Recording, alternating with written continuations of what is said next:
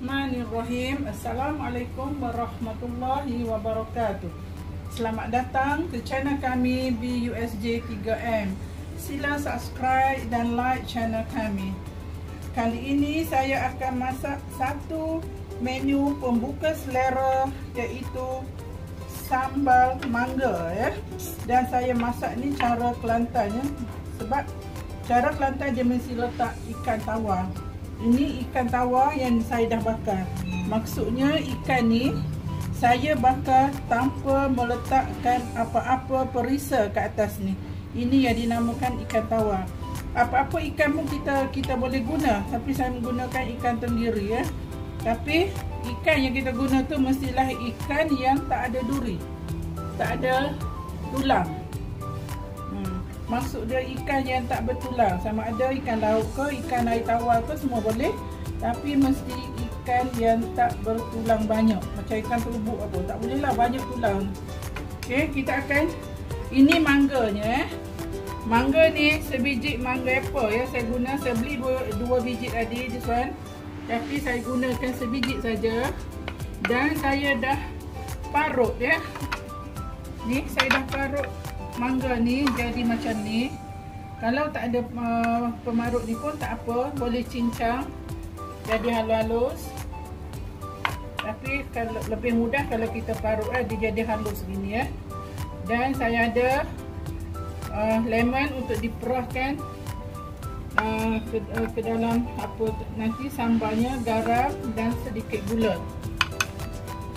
Mula-mula kita akan masuk kita akan tumbuk cili ni dulu cili Okey lupa nak cakap saya gunakan 5 biji cili cili api ya. Tak nak banyak sangat takut pedas. So saya akan tunggu lemak dulu cili api ni.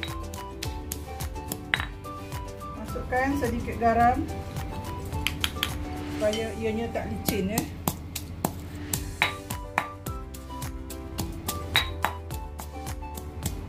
Cili ni dah lumat ya. So sekarang saya akan masukkan ikan.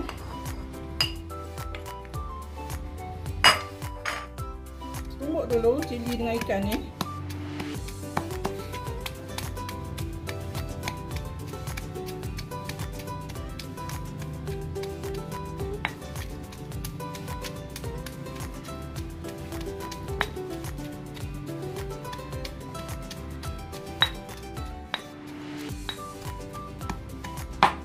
dan kita masukkan mangga ya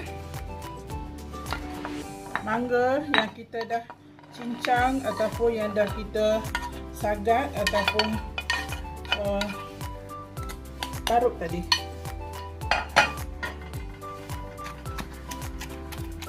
Ini sambal pembuka selera ya sebab dia rasa masih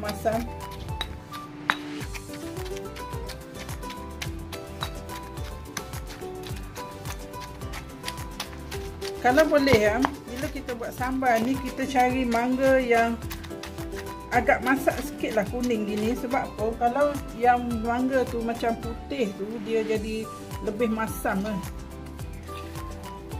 tapi kalau orang yang suka masam tu tak apa. Tapi saya nakkan dia ni manis sikit. Jadi saya sengaja pilih mangga yang agak masak sikit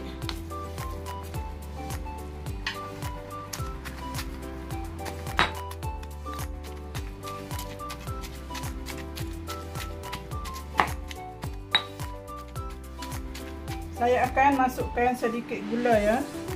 Gula pasir dalam ni.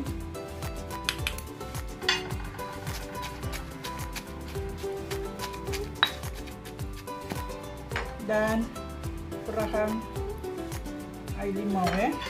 Lemon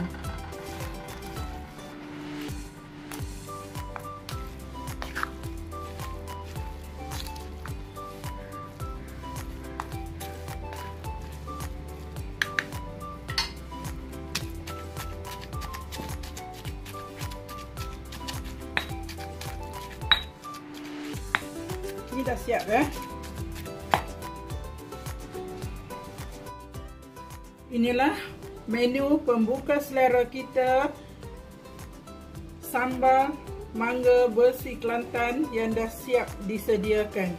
Selamat mencuba. Sehingga berjumpa di lain video. Assalamualaikum warahmatullahi wabarakatuh.